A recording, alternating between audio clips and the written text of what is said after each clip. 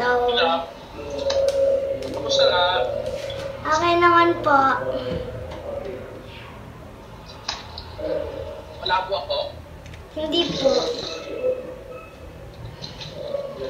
Ikaw pala ako.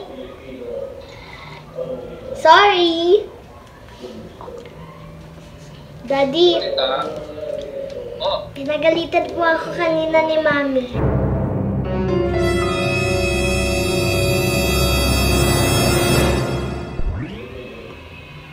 Bakit? Hindi kanya na po ako paluin. Bakit?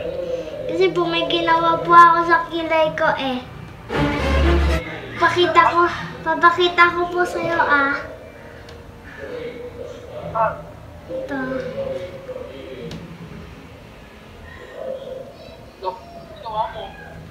Nahit ko po.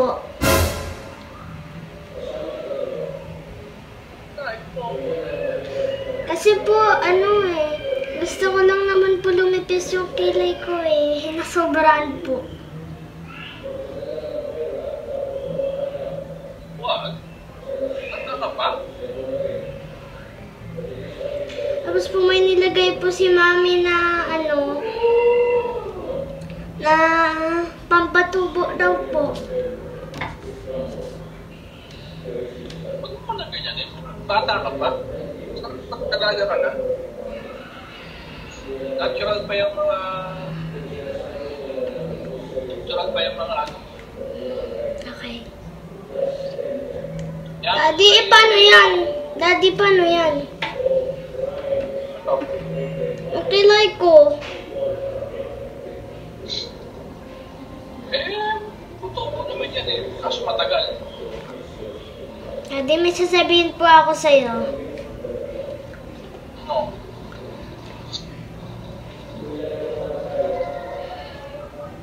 Sorry, Daddy ah. Pero... It's a prank! Pinipitihan po ako ni Mami. It's a prank! Hindi ko talaga inahit kilay ko, Daddy.